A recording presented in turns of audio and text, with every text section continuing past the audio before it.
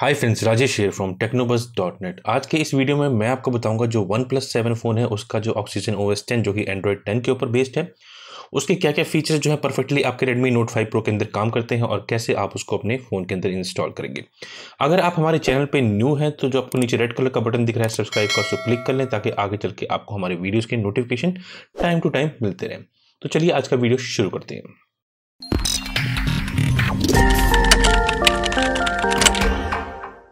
तो जैसे कि देख पा रहे हैं, ये है Redmi Note 5 Pro और आज इसके अंदर हमने वन प्लस सेवन का जो रोम है, जो कि ऑक्सीजन ओ एस टेन यानी कि एंड्रॉयड टेन के ऊपर जो बेस्ड है, उसको हमने अपने फ़ोन के अंदर इंस्टॉल कर रखा है।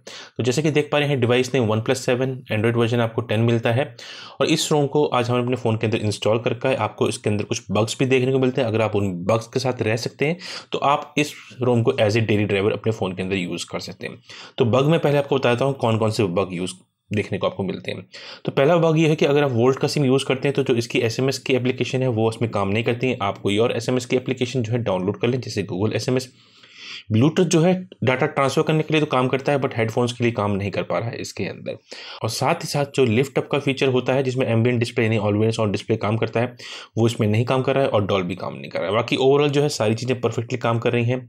वाईफाई नेटवर्किंग वगैरह में कहीं कोई प्रॉब्लम नहीं है। वोल्ट का फीचर काम कर रहा है, आपको इन कॉल साउंड मिल जाती है फिंगरप्रिंट काम कर रहा है। फेस अनलॉक आपको एंड्रॉइड टेन के इस ऑक्सीजन ओएस में देखने को नहीं मिलता है। माइक वगैरह ऑलरेडी सारी चीज़ें काम कर रही है। तो अभी से कुछ फीचर्स के बारे में हम बात कर लेते हैं। तो देख पा रहे होंगे आपको कुछ लुक इस तरीके का देखने को मिलता है। राइट साइड को आप स्वाइप करते हैं तो आपको वन प्लस का सेल्फ का ऑप्शन देखने को मिलता है, जिसमें आपको काफ़ी सारे टूल बॉक्स और रिसेंट ऐप्स आप यहाँ पे जाके चेकआउट कर सकते हैं।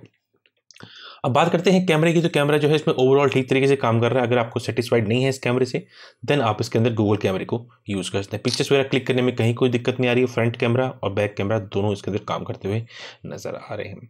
अगर हम सेटिंग्स में चले तो मैं कुछ और फीचर्स भी आपको दिखा देता हूँ, जो कि वन प्लस सेवन के फ़ोन के अंदर आपको देखने को मिलते हैं। वही कुछ फीचर्स आपको इस रोम में भी देखने को मिलते हैं, जिनको आप इजिली अपने रेडमी नोट फाइव प्रो के अंदर इन्जॉय कर पाएँगे।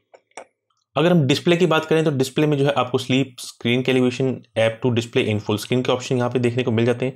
आप फुल स्क्रीन के अंदर जो है इन ऐप्स को यूज़ कर सकते हैं। उसके बाद नाइट मोड रीडिंग मोड और वीडियो इनहेंसर का ऑप्शन यहाँ पे मिल जाता है।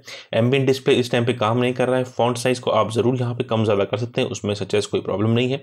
उसी तरीके से डिस्प्ले साइज़ को भी आप यहाँ से कम ज़्यादा कर सकते हैं।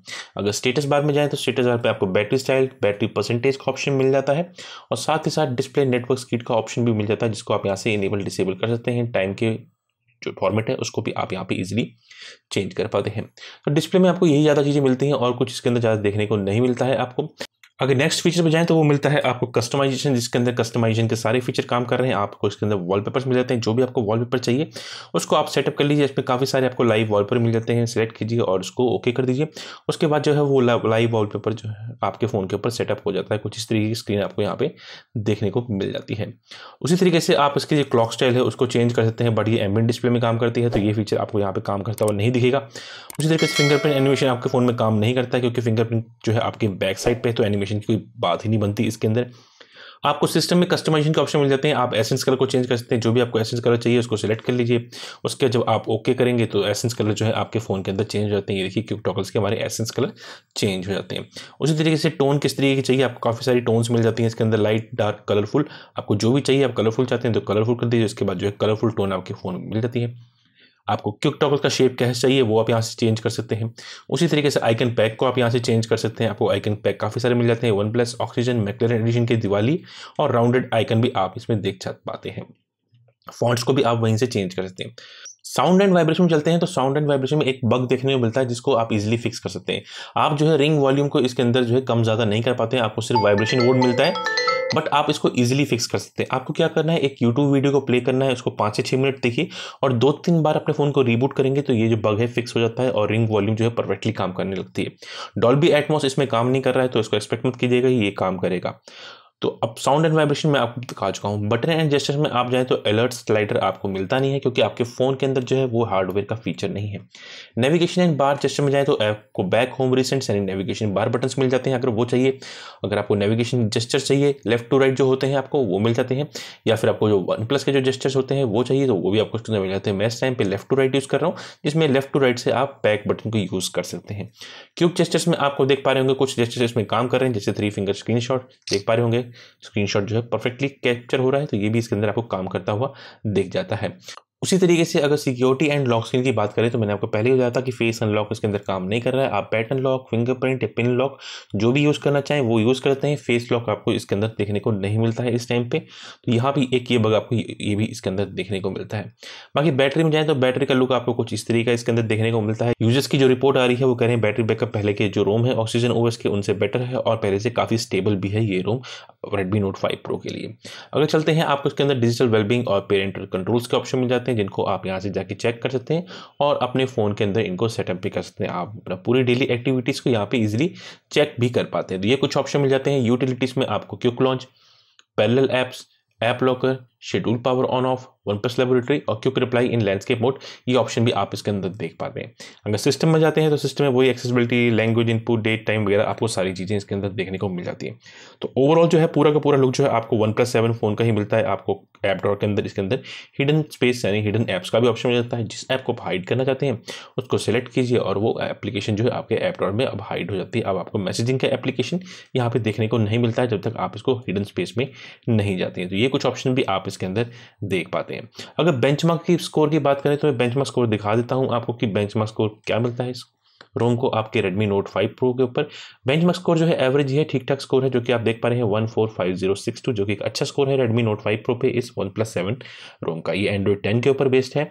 तो आपको छोटे मोटे बग्स देखने को मिल मिल रहे हैं, मगर अगर आप उन बग्स के साथ मैनेज कर सकते हैं तो आप इसको ईजिली अपने फ़ोन के अंदर यूज़ कर सकते हैं। तो पूरा वन प्लस सेवन का जो लुक है, अपने रेडमी नोट फाइव प्रो के अंदर पा सकते हैं। अब काफ़ी लोग पूछते हैं कि पबजी आप इसमें कौन से मोड पे खेल पाते हैं? तो मैं पबजी को लॉन्च कर देता हूँ। एक बार ये देखिए, पबजी को हमने लॉन्च कर दिया है और जो गेम बूस्टर है, वो भी इसके अंदर एक्टिव हो गया है। मैं आपको एक बार पबजी का ग्राफिक पेज दिखा देता हूँ, जिससे आपको थोड़ा आइडिया हो जाएगा कि पबजी जो है, आप इस रोम के अंदर कौन से मोड पे खेल पाते हैं। इस रोम को इंस्टॉलेशन प्रोसेस जो है थोड़ा सा अलग है तो वीडियो को पूरा एंड देखिएगा स्किप मत कीजिएगा। अगर आप स्किप कर देते हैं तो आप इस रोम को बूट नहीं कर पाएँगे। फिर आप मैसेज करेंगे मेरा फ़ोन बूट नहीं हो रहा है या बूट लूप पे चला गया है तो वीडियो को पूरा देखिएगा और स्किप मत कीजिएगा। क्योंकि आप लोग स्किप करते रहते हैं वीडियो को, फिर कमेंट करते हैं। क्योंकि कोई ना कोई आप जो है इंपॉर्टेंट पार्ट जो है मिस कर देते हैं और उसके बाद कमेंट करते हैं, मेरा नहीं हुआ, मुझे ये प्रॉब्लम आ रही है या तूने फेक वीडियो बनाया है। तो ये देखिए, मैं आपको ग्राफिक पेज दिखा देता हूँ इसका। हम ग्राफिक पेज चलते हैं। आप जो है ग्राफिक्स को एचडी मोड पर रख सकते हैं और फ्रेम रेट को इसके अंदर हाई पे रख के गेम्स को परफेक्टली खेल सकते हैं। तो अब मैं बताऊँगा कि आप इसको इंस्टॉल कैसे करेंगे।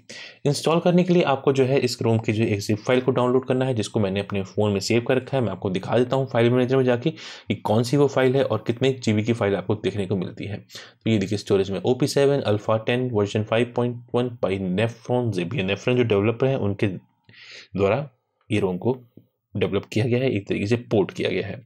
तो ये 1.89 जीबी के आसपास की फ़ाइल है, इसको आपने सेव कर लेना है और उसके बाद अपने फ़ोन को अपने कस्टम रिकवरी पे बूट करना है। हमको पावर के ऑप्शन में मिल जाता है रिकवरी तो हम यहीं से इसको बूट कर लेते हैं।